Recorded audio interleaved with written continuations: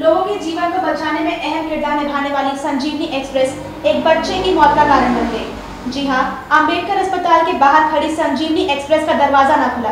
दरवाज़ा न खुलने से, दम घुटने से बच्चे की मौत हो गई। इस डेढ़ महीने के बच्चे को अपनी ऐसी हालत में देख परिजनों का रो रो कर बुरा हाल था। तो वहीं प्रशासन ने इस पर कड़ी कार्रवाई करने की बात कही। एक सौ आठ पे एंबुलेंस गया, एंबुलेंस लेकर के आया।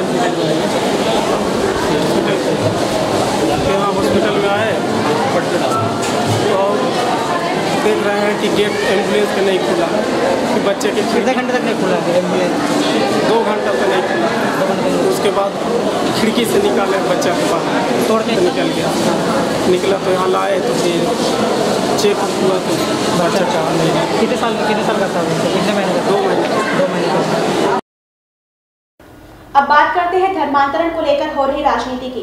जी हाँ, एक अखबार में छपे लेख के मुताबिक महाराष्ट्र में करीब तीस हज़ार लोगों को धर्म परिवर्तित कर सिंधी से ईसाई धर्म में ले जाया गया था, जिस पर छत्तीसगढ़ में भी ऐसी ही घटना होने की बात सामने आ रही है।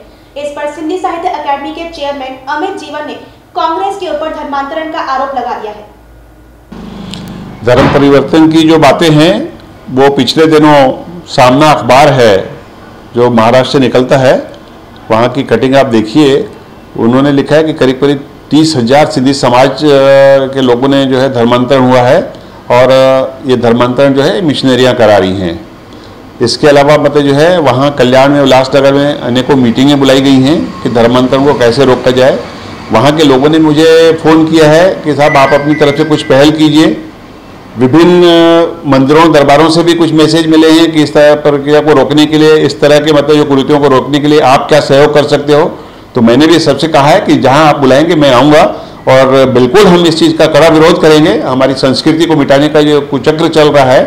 हम ज़बरदस्त इसका विरोध करते हैं और जिस लेवल तक भी होगा, हम और हमारी सरकार से भी हम अगर अपने सरकार की तरफ़ से भी कोशिश करेंगे कि ऐसे कुचक्रों को रोका जाए।